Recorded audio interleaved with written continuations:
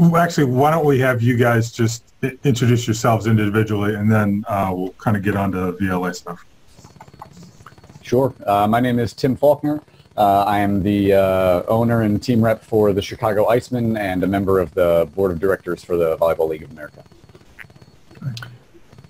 Hey everyone, um, my name is Will Foley, um, also part of the VLA board, um, really uh, focused on um, making the league financially successful. Um, I uh, have a background in startups in volleyball, and I get the pleasure of combining the two to, to help the league grow. Excellent.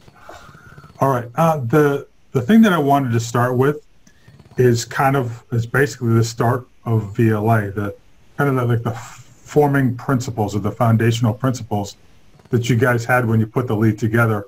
What was it you were were after, and kind of what was the the mindset that you had in, in developing the league and, and kind of creating your your path forward? I think one of the biggest factors on the volleyball side of it was we wanted to have teams that truly represented the areas that they were claiming to represent.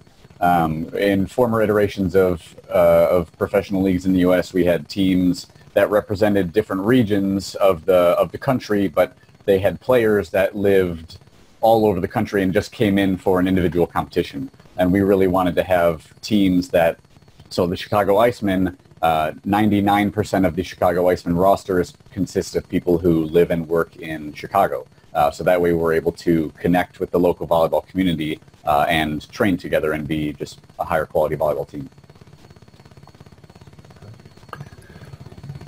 One of the the um, the the other items that, um, in addition to what Tim mentioned around uh, really connecting around uh, the volleyball community, is is really the the VLA's mission to to grow the sport of volleyball, using uh, professional volleyball as the the means to do so. Um, is is the the observation of of today's market, um, which is um, that uh, screen time is up um, people are uh, easily accessing um, different types of media through the low cost of production. And so uh, here lies uh, an opportunity that we saw, which is great teams like Tim and others uh, around the, the U.S. that also um, are uh, looking at audiences that want to watch volleyball. Uh, and so we're really trying to connect the, the teams um, that have those great connections in those local markets with um, our audiences by providing them a high-level entertainment product that they can watch at, at any time. Okay. So it's very much as a grassroots sort of philosophy of building up in the in the community as opposed to say something like Major League Soccer, where okay, we're going to get a bunch of big investors and we're going to build a league that we know is going to cost us money for several years, ten years. I don't, I don't even know how long that, that took for them to to start turning a profit. Um, but they were, I mean, it was all billionaire owners, so they could they could finance that. But you guys are looking at much more of a kind of a shoestring sort of thing, developing from the ground up and tying in. And I know some of the stuff that you've done ties in with clubs and juniors tournaments and stuff like that. Exactly, building a strong fund- foundation for the league. Okay. Yeah. And presumably something sustainable. Correct. Very much so. And and you brought up MLS, which is definitely uh, an organization that, that we research, and, and it took over 10 years to to actually turn a profit on on that particular league. And it was because that they, they, they really struggled with connecting with their audiences.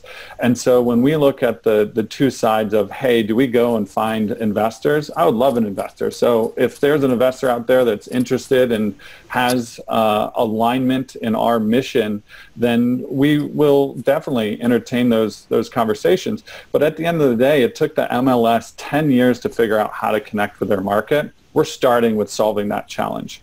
We want to do that right the first time and not take 10 years of money that is essentially burned uh, because we want to do it the right way. And so connecting with our audience, growing the sport of volleyball is really the mission that will turn into a sustainable volleyball league. An investor is just going to accelerate those efforts. Okay. So how did how did this all come together? What's kind of like the history to date for VLA? Uh, well, the origins of most of the board and uh, the owners and team reps that we have currently um, had all been a part of previous attempts at professional leagues in the U.S. Uh, all five teams actually were a part of both PVL and uh, briefly were in the NVA. Um, and obviously the PVL ended up falling through after, I believe it was six seasons. Uh, and after a short time with the NVA, uh, we had disagreements on how we felt was the right way to build a professional league and operate as a business. Uh, so we decided to uh, start our own and kind of create uh, create our league the way that we uh, saw it to be the right way to do it. Okay. So uh, when did you guys actually start putting the league together? It was fall of 2018 or 2019 is uh, is when things started to to accelerate, and so um, when we looked at uh, our inaugural season, um, it was all about uh, getting in front of as many people as possible. Um, that season was scheduled during a global pandemic. Um, so lots of things have, have changed, but the, the thing that continues to be our, our core goal uh, is to, again, get in front of people that love volleyball. And our goal is to partner with as many people along the way that uh, support that mission and to help them grow as we help grow ourselves. Okay. Yeah, I saw that a lot of what you were looking to do was schedule matches at, say, juniors qualifiers mm-hmm. some of the big tournaments, which obviously gives you kind of a baked-in audience. Uh, unfortunately, as you say, that kind of went out the window. Is that something you're still, you know, hopefully we have a junior season this year. Um, maybe junior season will start in the fall this year instead of in the spring, yep. like traditionally. But are you still planning to go that route, or are you progressing on to a different angle? Yeah, I think I think when when we we look at events, there's there's many types of events that that we can have, and so um, ideally, what we're looking for is how do we maximize the audience and and the viewership, and so as you mentioned, John, um, having our events at junior events is a top priority of ours because we have the ability to be in front of so many people. The reach is so high. So it's really attractive for us to, to be there if it's possible. Um, and so we're also planning around other types of events. Uh, again, the, the single thread throughout is how do we maximize our reach across? And so we're looking at um, different volleyball hotspots. And so we're looking at different regions around the, the, the U.S. that have a really healthy volleyball community that is interested in getting in front of or have uh, uh themselves get in front of really high quality volleyball. And so there's different markets that we're engaging with and looking for other partners that want to bring the talent that we have to the cities that they want to see that talent in. And so a lot of the conversations are early, um, but we are actively looking for um, clubs, regions, cities interested in having an event in their location. Um, then the, the next um, plan, because we're planning and hedging against all types of risk in a, in a global pandemic is um, how do we do it safely if uh, the global pandemic does not change. And so we are looking at um, doing um, a bubble-like event where we actually go and um, eliminate um, in uh, in-person live um, attendees so that we can make sure that the public and our players are safe and have our reach primarily focused on the digital side. So live streaming, social media reach, uh, and really focusing on providing high quality volleyball to audiences um, around the U.S. and the world um, in a really safe way. And so those are kind of the three types of events that we're looking at um, for the upcoming season. And really what we're kind of waiting to determine is what's possible with the outside constraints that a global pandemic presents itself. Yeah, aren't we all? Ugh. The big challenge of our time, apparently.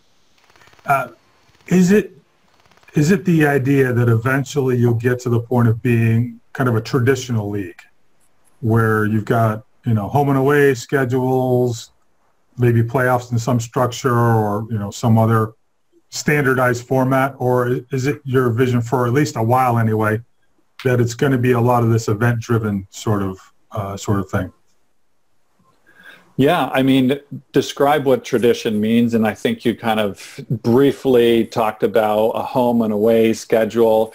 I think, um, you know, when I think about traditional sports leagues, they've had 100, 110 years of legacy um, viewership that allows them to um, exist and, and, and have that, that legacy um, or traditional sports view. Um, where from a startup perspective, a, a, grassroots perspective, I think we have a lot of opportunity and flexibility to do both uh, or to pursue one or the other depending on where the markets exist. And so we recognize that the greatest thing that we can do is get in front of as many people as possible.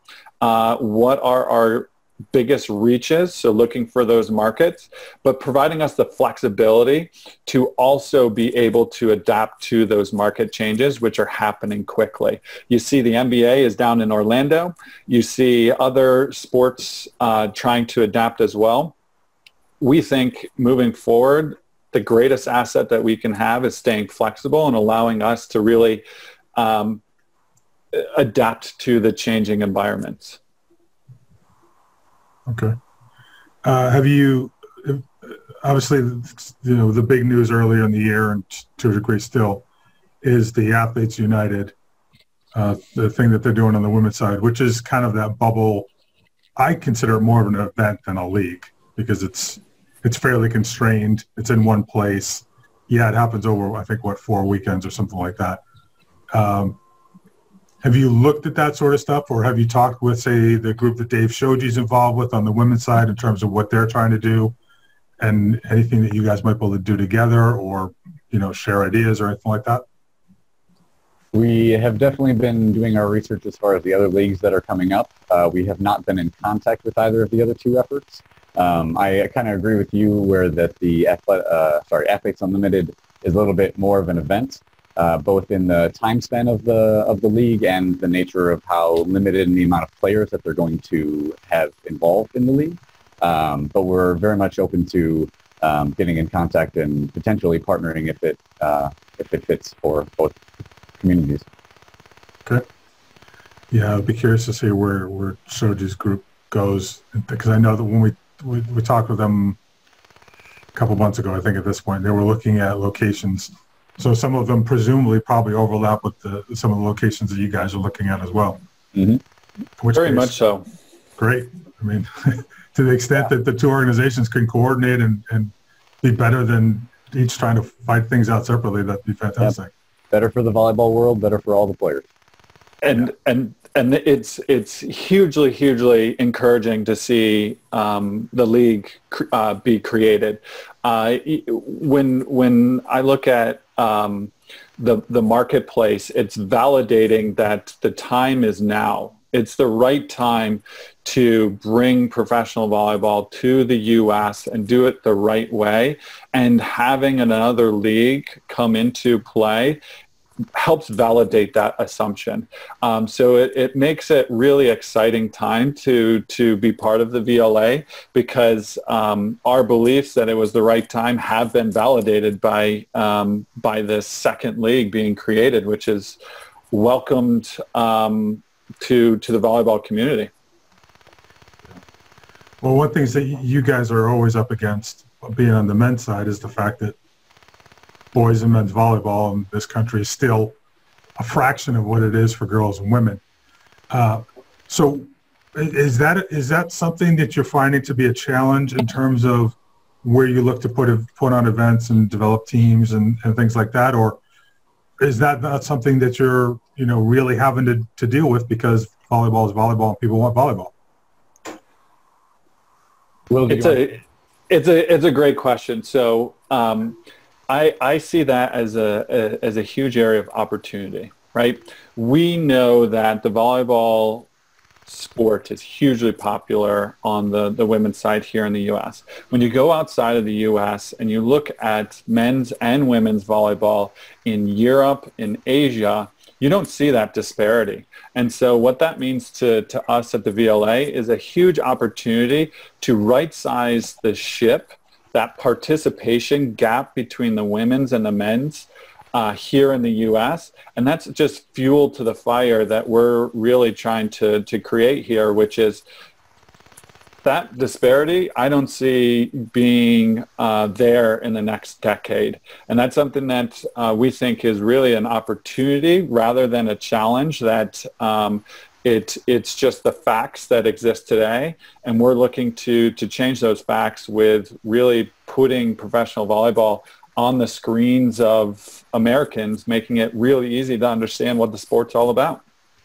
And with the unprecedented growth that we have seen on the boys' side of volleyball in the, in the U.S. the last decade, um, you know, one of the great things that we've seen is that the major hubs across the country that are predominantly known as women's or girls uh, hubs have all are all really looking to grow the sport of boys volleyball in the area as well. And the problem that they have is that they don't have a local college team like Chicago. The wonderful thing about the volleyball community there is that we have Loyola and Lewis and Ohio State is not, you know, it's not far away. And we have all these major programs where people are able to go and see high level volleyball.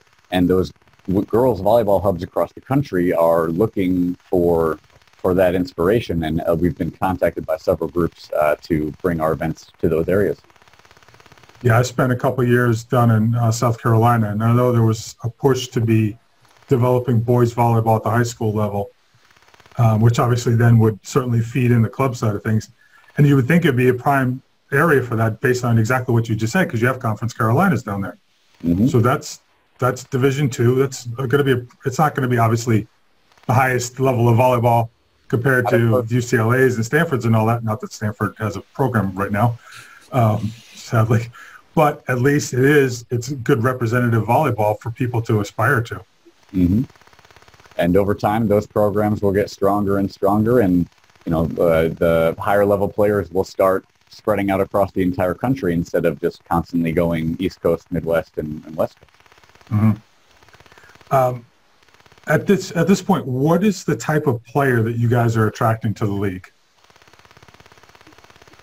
Uh, I find that a lot of the players that we have are, I mean, if you look at the individual roster of the different teams, we have a lot of like really high level players who were very successful in their college careers. Um, uh, I couldn't tell you the exact number, but a decent amount of our players uh, tried to play professionally overseas. And, and when I say try, I just mean uh, a lot of them played for just one or two years and realized that living overseas and being away from their friends and family uh, was just a little bit too difficult for some of them. Uh, others uh, wanted to be a little bit more community, uh, sorry, career oriented when they left college, but still have a strong passion for the sport and, and train and want to compete at a high level. Um, and so the, the, the caliber of player that we're getting is actually has been very good. What's what's the sort of uh, schedule for these guys? um, for you know training and all and all that. Because as you say, if if a bunch of them are you know working and having careers, then they're going to fit that in around that. So, uh, what does the time commitment look like at this stage? The season that we're looking at at right now is January through July. Um, and with it being event-based, it makes it a little bit easier on everybody having full-time jobs. Mm-hmm. Uh, obviously, as we down the road, if we end up turning towards individual matches, you know, kind of home and away matches like we spoke about before, um, it'll involve a, different time commitment, but at that point, we'll also be in a point where we'll be able to financially compensate the difference in, in time. Uh, so for the teams and players right now, um, our preseason is basically the winter time and kind of training and getting ready uh, in, the, in the winter pre-competition, and we basically train throughout um, throughout January through to July. Okay. Yeah, related to that, one of the things that always seems to come up in these conversations about leagues and I've been in some of them myself, is when do you schedule them? And because obviously, because you guys are tying in with like the juniors events, you, you know, you've got that schedule pretty much set up. But you know, if you're if you're if you're looking at kind of the more the league idea, all right, do you want to compete with women's volleyball in the fall, or do you want to compete with men's volleyball in the spring, and all the different events, and, and obviously then you're also competing with every other sport on the landscape to a greater or lesser degree.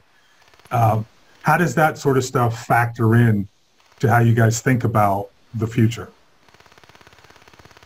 I think there's there's a few ways to to to look at that, and um, one of the ways that that we see Tim Tim called out uh, January to to July. Some of our players um, actually come in second half of the season, which is really exciting because we give them a platform that uh, allows them to continue to play their professional career overseas, but come in uh, after their seasons end, which is typically April, sometimes May, but then we get to extend that for them so that they can work on skills with different players to then better themselves in their next season overseas. And so we see one side of the equation, which is how do we tap the right people uh, from a talent perspective and really create a high quality product for our audience. The second aspect, which you called out, is, is, is competing with other sports, right? We don't want to compete. If you want to go watch football or you want to watch college volleyball or you want to watch college basketball, go do those things, right? We are looking at a demographic that actually prefers to watch volleyball. Those are the people that we're trying to put ourselves into. And so that's why, as you called out, John, it's so key that we're in front of the people at those junior events, which is why it's so awesome to have great partners um, to do so. But it's also equally as important to take that broader view, as you called out, that looks at, hey, what's going on in the rest of the sports? Where's the lull in actual competition that we can actually fill with our product. And so I see an opportunity, which is why we end our season in the July timeframe, where we're not competing with any of the major sports, right? NFL is not going on, NBA is finished up, NHL. We're looking at really only competing with the MLS, if you consider that a major sport these days, which has grown in popularity significantly. But there's a lot of opportunity to get airtime, screen time during that time period, which is where we're putting our playoffs, which is why it's so exciting to have a schedule that kind of gains the traction of getting eyes on our product at juniors events, but then gives them something to watch during the, the summer months that doesn't compete with a lot of other high quality sports entertainment products. Right. The great Out thing. of curi- okay, no, go ahead. Go ahead. I was just going to say the, the great thing about it too is the fact that you know the, the following for collegiate sports is is growing and growing as well, and you know with our leagues that are with our league that's going on now, fans will have the ability to continue following their favorite players from college as they progress into the VLA and compete beyond college. And it'll be easier for them to watch matches uh, both online and eventually in person once we get past uh, the pandemic. Right, right. Um, I, two things that come up. One of them uh, is is you brought up the idea of, of partnerships. How tied in are you guys on a kind of a functional basis with local juniors clubs? Yeah, great question. So um, some of our teams are an extension of the junior program. So uh, LVC is an extension of the junior program. That's a team run by Chris Hosley out of uh, upstate New York. Um, Lloyd Ball's team, uh, Team Pineapple, is run out of uh, his club team, BSA. Um, and so we have strong ties at the junior level with the clubs that we have in most areas. And so that's something that we're continually cultivating is the local interactions in the markets that those teams are are part of because again we're looking to grow the sport of volleyball and it's using kind of the professional platform um, to do so and it's so fun to see the connection between those players and coaches helping the juniors grow and develop while they support us with uh, our professional volleyball entertainment product with the likes, with the comments, and with the views that, that they provide us. Yeah, I know Mark's got a couple of things he wants to, to jump in with, but uh, before I do, before I throw it to him, uh, one question on on streaming. Do you have a sense of what that viewership is like, or what that potential viewership is like at this stage? Yeah, um, from a viewership perspective, um, there's a lot of ways to to cut it. So I think when when we think about what is the market, what is the total addressable market of the volleyball world, it's a very very high number. So we think when there's uh, a potential for volleyball to be um, most certainly uh, a multi-million dollar industry to even upwards of a billion right? And you can look at the numbers um, that that we're looking at, which is viewership during um, the Olympics. Uh, volleyball, um, indoor volleyball, is one of the highest sports. Um, you look at the growth of volleyball at the um, uh, the men's uh, levels, the boys level in the high school recently, uh, and then you combine that with the junior, the girls programs, which is the number one high school sport um, by participation. You see that there's millions of people that play volleyball. We just need to get ourselves in front of those people which is why we want to be at the events that those people are at. And so when we think about how we are looking to take, hey, where we think the top of that market is and how we get there. It's all about being able to put ourselves in front of those people at the events that they're already at to take our viewership and, and grow it to the, the couple million that uh, we think we can do in a, in a couple years. Okay, good. All right, Mark, what do you got? Uh, I had, there's a couple of things that come to mind as we go along, but but uh, segueing from or uh, from that that last point, and it's certainly true that uh, that volleyball has a big potential audience in terms of people who are interested in volleyball, uh, people who like volleyball when they see it, and that's a that's a kind of key point because that you're talking about. Um, about being in front of people, they like it when they see it, but don't see it very often and don't seek it out. So that's it's it's um it it it's a great point, Mark. Um, and I think um, the the biggest challenge when you look uh, that's even, one volleyball even worldwide uh, that that uh, the problem that volleyball typically has is separating those people from their money to put it in a really blunt way. So uh, that means paying to go to see matches. That means uh, spending money on sponsors' products to make it worthwhile for a sponsor to be to be involved. And so uh, I don't know if it's a if it's a if it's a question that you can answer or just me making a statement. But uh, you know what uh, is that something that, that you guys are aware of or, or um, are, are part of the considerations? Because that's what it comes down to in the end is these great volleyball fans actually spending money. Totally. Um, it, it's it's what I obsess about. It's it's incredible that when the volleyball community is so strong and so passionate about the sport, um, why hasn't this been uh, created yet? Why hasn't a professional volleyball been uh, successful? And the reason that I obsess about it is because I think there's the answer to figuring out how to be successful with exploring why other leagues haven't been. And so the first point that, that I continue to, to look at is, hey, even 10 years ago, technology has changed so significantly that the production costs, the amplification, the platforms that are available, the reach that technology provides right now has lowered the cost has significantly reduced the barrier that previous leagues had to really battle against, which is very limited channels to get on NBC Sports, right? Um, we don't need to do that the internet is an amazing tool that allows us to really lower the cost, but still provide a high quality product. The second aspect is why do people love playing volleyball more than they like mm-hmm. watching volleyball? And that is a question that I obsess about.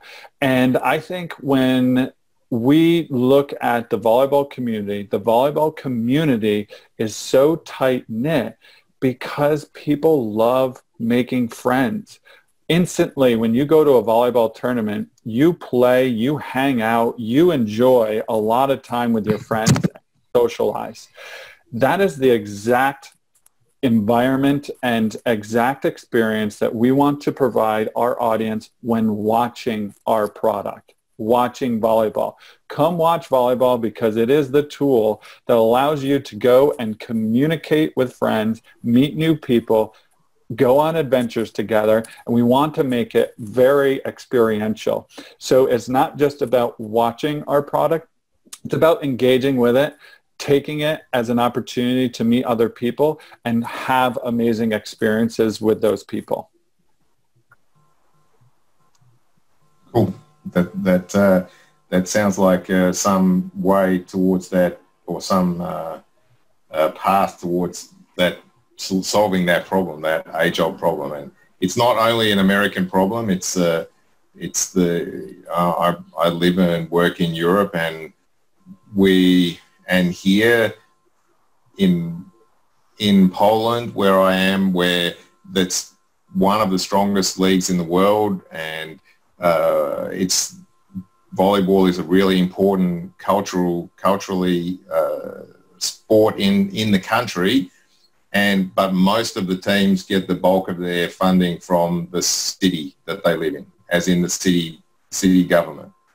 And uh, even in Poland they haven't figured out a way to really sell volleyball even though it's on TV eight games a week uh, pay TV but TV and so that's a that's a really key uh, interest interest for me. And one the the other the other point is that, uh, or the other thing that comes to mind, you have the the existing clubs, the community-based clubs, the people where the players are related to the uh, or connected to the communities that they're they're playing in. Uh, how do you in you envisage that developing? Because as the as the league becomes more professional, has more opportunity for uh, for money, uh, for for salaries for players, etc. At some point, there's likely to be a movement to bring in players from outside and possibly even uh, players from outside the US. Um, do you have a you know, a model for how that transition might occur? Yeah, I so um, really, I'm, really I'm looking for a job. By the way, that's the that's the that's the point I'm making. You you got it. Um, uh, we'll we are always looking for great talent um, in in all forms. So um, happy to have you, Mark. Um, the to to your to your question about um, hey, how do we kind of create a successful, sustainable league? um, knowing that it's a worldwide challenge of, of, volleyball leagues that right now even some of the more successful leagues have um, funding through through states. Um, when I think about volleyball and professional volleyball, what we are really is an entertainment product, right? Our entertainment product attracts eyes and ears and followers and fans and people that really love the content that we are creating.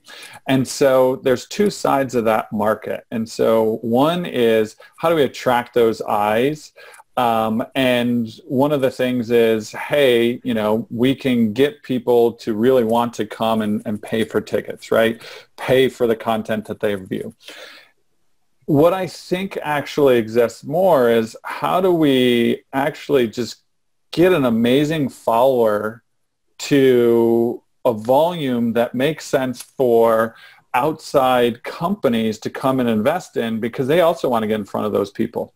So how do we create an amazing product that we get millions of millions of followers to follow so that we can now engage with partners and corporate sponsors to come in that are looking at our core followers as people, target markets of their own products. And now we create a cohesive partnership with those companies and those entities to start working together to monetize the, the community that has brought people together to view this amazing product uh, that creates a sustainable way to grow a professional volleyball league here in the U.S. It's a delicate balance, but I see it as kind of two sides of the, the equation, which is, hey, we need to grow viewership.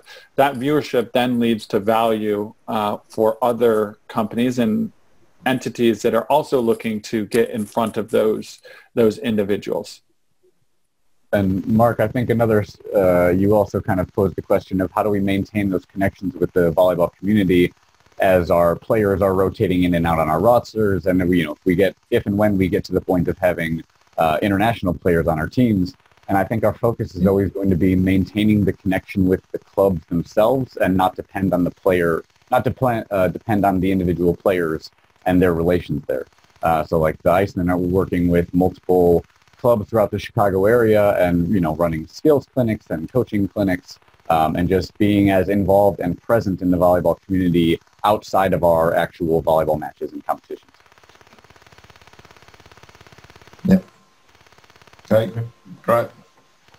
Um, to the point about um, the, the, kind of atmosphere that you're looking to to develop. I mean, there's, there's, there's two parts of this, but I'll start with this. One of the, one of my first thoughts when you were describing that, well, was the AVP of the 90s when it was really successful and it was it was an experience going to an AVP tournament was a cultural experience is that kind of the model you're you're obviously different setting but the sort of concept the sort of idea that you're after?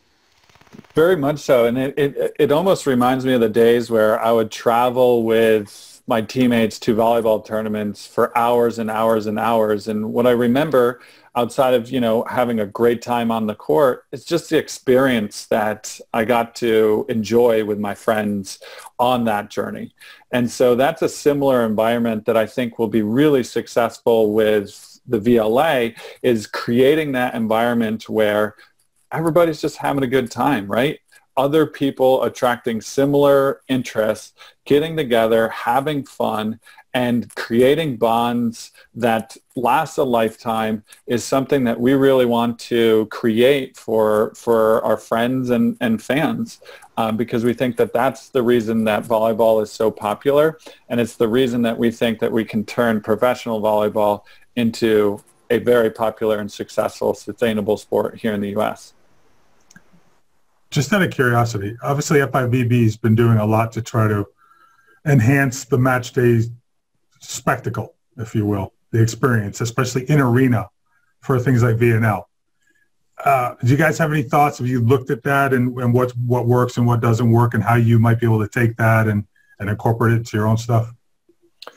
All the time. So um, one one of the the things that um, that, that that's so special about an event is is creating a memorable experience and so what, what is most important is that we understand what that memorable experience is that allows our fans to come back and ask for more, right? And so it's always going to be something that I think in order to be successful is always changing, always evolving, and it's always going to be a little something special, right? You're not going to know what happens or how it's going to happen, but it's going to be something that, hey, you know something fun's going to happen and we want you there to watch it and to be part of it because that's how we take that awesome experience of playing volleyball and turn it into the amazing experience of watching volleyball. The unexpected that you never can really plan for what's going to happen. You just know it's going to be a great time, which is why you're going to sign up for it. Mark, just just throwing it since you've been in the gym for a lot of these FIVB events. Do you have any thoughts on the stuff that seems to work well and what doesn't work well? The it's uh, it's really interesting because I was in VNL from the beginning. I was involved with some of the the meetings at FIVB where where they were discussing or at least explaining the, the, the concepts. And one of the, the goals that they had was to make the experience consistent wherever you are. So the everything at a VNL match, if you land in France or US or Iran, follows the same template. So you have a super spike and a monster block and, and all of those things. And uh, the, the, the announcers actually had workshops, so you know they were meant to uh, to work more or less in the same way. And the thing that was interesting for me was I personally find a lot of those things really lame. Um, you know, monster block and everybody waves their hands and and that kind of stuff. But with a skilled announcer, it was really interesting to watch over the course of a couple of days at because each each event was three days in one uh, one venue how the crowd was more and more engaged as the weekend went on as they they started to understand how things are supposed to work and it was a really I, I think it was a really effective driver of engagement of the crowd. So um, you know, to that exact exact point, that was the you know FIVB's goal was to make a McDonald's experience, and uh, and I think that it was largely effective. Obviously, and this speaks to the, the point that I made before that a lot of the times that we were playing in empty gyms because the the fans would only come and watch the home team play, but when the fans were there, they were they were well engaged. Certainly, as the as the tournament went on. Right. Yeah, I think Clayton uh, Lucas made a similar comment about the the in the, the local uh, commentators and, and, and, arena announcers and how the quality of them could really drive the, the quality of the experience for each event. Uh, there, you know, there were some really great ones who uh, who were able to to educate the crowd in the expectations and and it it never ceases to amaze me the the willingness of a crowd of people to do dumb things because they're in a crowd which you know they they enjoy that experience and it's better for the players and uh, you know, but you have to invest you have to invest time and time and effort into it well, and it doesn't hurt when you got you know groups of guys like the Aussie bench dancing and keeping the the fans uh, entertained as well. We tried to do our bit. oh, all right. Uh, Will, you've talked a couple of times about you know trying to get the, the, the volleyball people, especially the participants, the volleyball participants, engaged in VLA and and and as spectators generally which, as you said, this has always been kind of the struggle of the sport. But what about the more, I don't know, external market? People who would be spectators just because they enjoy being spectators, not necessarily because they've been playing for 20 years or their kids play or something like that.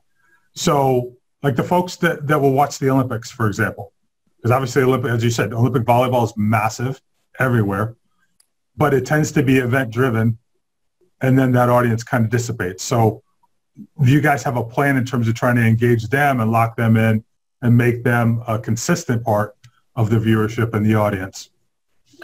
Yeah, we, they're out there. Um, they're they're out there. I hope they're they're listening. Um, when when when I think about the the challenge, it's it's it's about introducing a new product into a market. And so there's uh, in in other product launches, right? You have your early adopters, you have um, the the people that follow the earlier adopters, and then you have the the massive crowd that that follows um, the market trends, and then you have the late adopters. And so you have this beautiful bell curve of of the people um, that are interested in any product. And in this product, it's, it's our entertainment product for volleyball. What we are really hyper-focused on is those early adopters. And the reason being is that the cost And the barrier to attain those customers, those viewers, those fans is so small because they are so passionate about the sport of volleyball. From there, now we're going into, hey, all of the people that are playing volleyball as a activity, not necessarily that passionate volleyball player that travels the entire U.S. to play at all the tournaments, but maybe they played in high school, maybe they play in a rec league. That's our second target market. And then you got the third phase, which is, okay, we have people out there in the world that know that volleyball is an entertaining sport to watch, but we just need to get in front of them. But we recognize that getting in front of them is a little harder. So we're going to focus on our early adopters for the next couple, well, let's call it first two years, so that we have a strong follower in our league and we have a proven value to our sponsors. And then we will start accelerating into the other cohorts of um, the volleyball market. One of the ways that we're also addressing the, the non-volleyball fans is once we get them to come and watch our matches or watch our matches online is how do we get them to stay and continue watching and, and get invested in the game. And I think one of the ways that we can best do that is help them to understand what is going on out there. Because obviously there are a lot of phenomenal athletes on the court flying all over the place and the game can be very, very fast. But if you don't understand what's going on, you can kind of get lost in, in the speed of the game. And one of the ways that we're approaching that problem is we're changing uh, for our uh, streaming and viewing of our games, we're actually focusing on the end-line to end-line view as opposed to the sideline view so that you can actually watch the system and the movements of each team as the play progresses. And like if you watch a if you watch an NFL game, they're gonna have a play and then they're gonna pause it. You're gonna have a replay where they break down why this player moved here and what he was reacting to and, and what decision why they were making the decisions that they're making out on the court. And we want to be able to educate those non-volleyball people as well to keep them engaged in sport. Mark, I'm sure you can you can comment on that because you've been in the booth. Uh, but real quick, just for everybody else, like I said before, if you've got any questions, feel free to shoot them in. We're, we're about 10 minutes from an hour now, so we're not too far from wrapping up. Um, but yeah, yeah, Mark, you got any thoughts on that? Yeah, this is a it's one of those eternal eternal questions about the the end line view. And um, as a as a coach and a and a fan, no, let's, let's keep it as a coach. The the end line view is the is the is the best view. So there's no real question about that. Um, but do you uh, do you know? Have you researched what the um, the casual fan thinks about that? And the reason that I ask is because if uh, if you want to buy a ticket for a match, the cheapest tickets and the ones that you can always get at the last minute, presuming it's not sold out, are the are the end view seats. The VIP sit in the middle. The the highest price tickets are in the middle, and there is a difference in the in seeing. I, I think in seeing and understanding the dynamic of the game as distinct from seeing and understanding the tactics of the game. And I I think that in a telecast, and I've done a little bit of TV commentary, I think that there's and I'm a consumer, there's there's a balance between the two that's a that's an optimal that's an optimal balance. Um, I, I might it might be that the reason that those seats are uh, more expensive is just because they're more expensive and then and people follow the price. Um, I don't know the answer to that, but I find it a, an interesting juxtaposition, if you will. What the volleyball people think compared with perhaps what the casual fan thinks.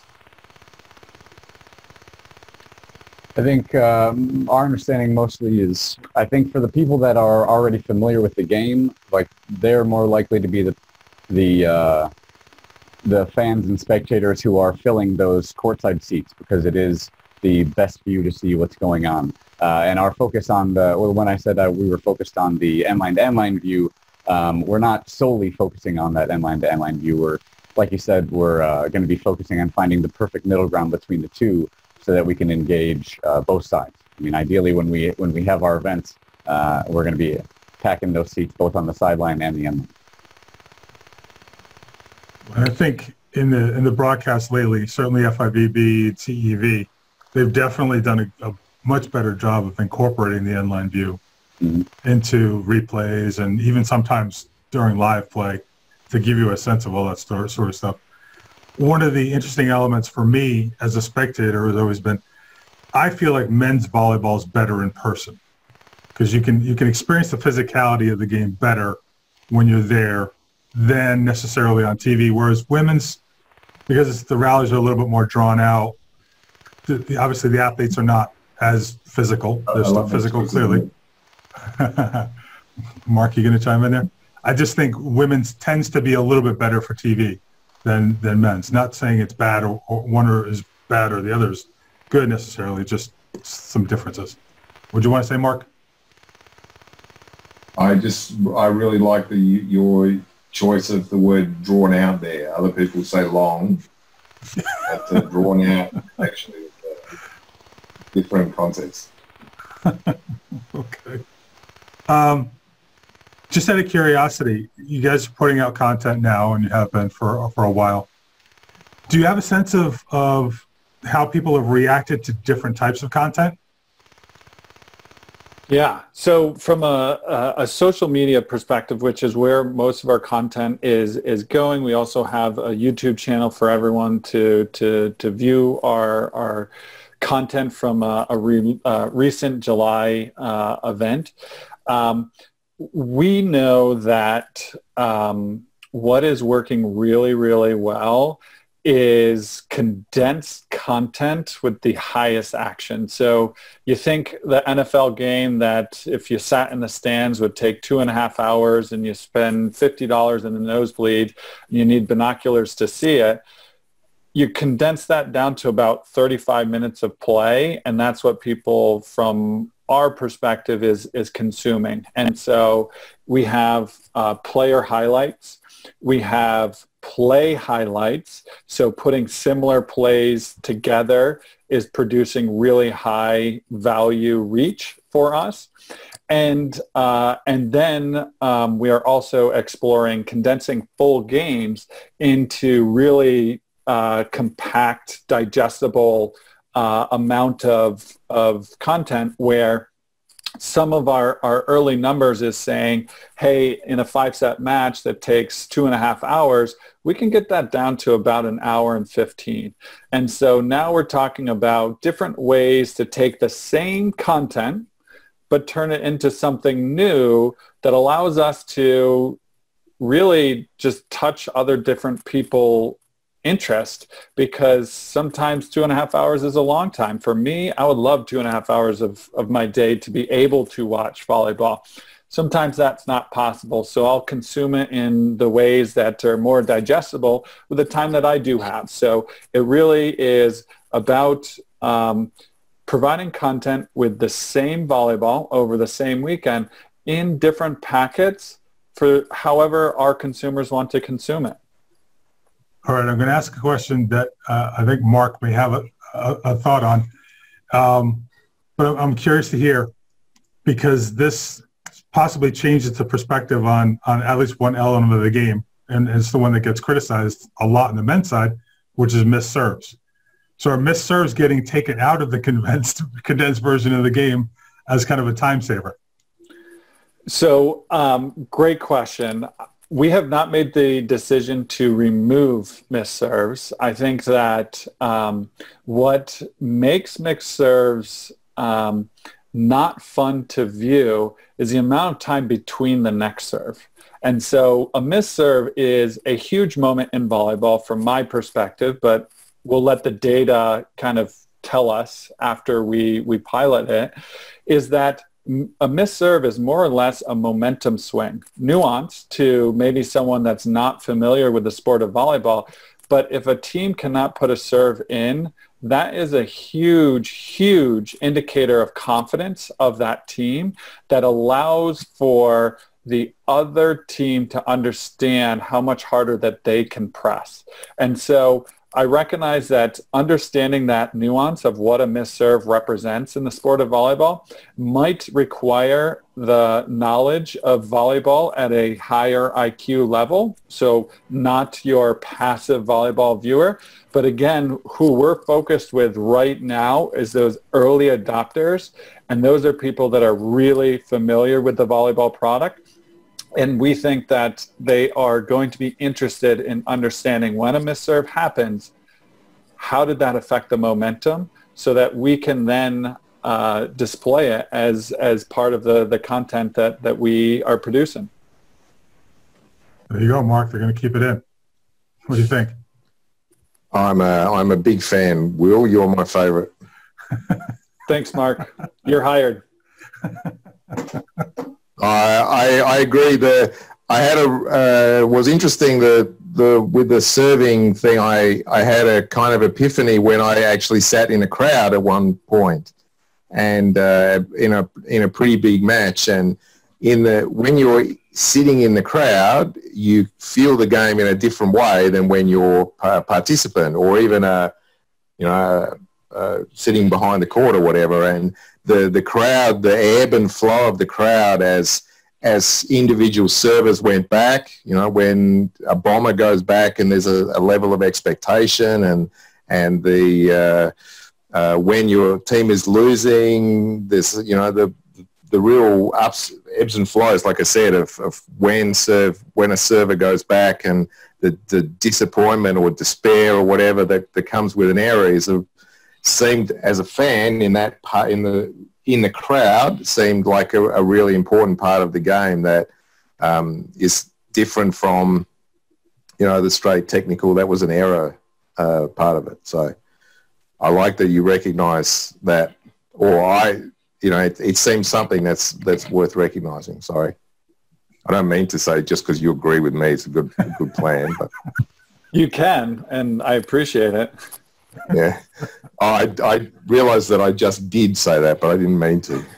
I, I appreciated it. You can't take it back. That's right. It's being recorded. We got it for all time.